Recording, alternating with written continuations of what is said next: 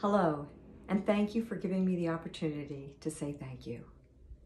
As my presidency comes to a conclusion, I'm here to say thank you to so many people and to tell you how very much I appreciated the opportunity to do this great work. Let me start first by thanking the Sisters of Charity for their incredible history and vision in creating the College of St. Elizabeth.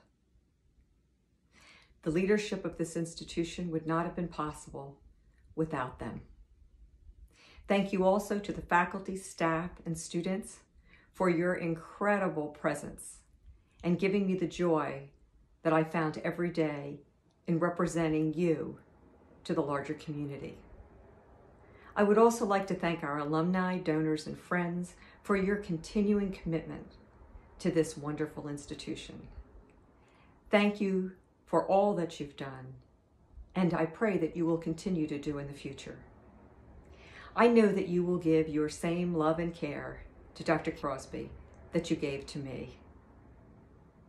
Again, thank you for eight incredible years. I've appreciated every moment of being your president. May God bless you and your families and see that you are protected all the days of your life. Thank you.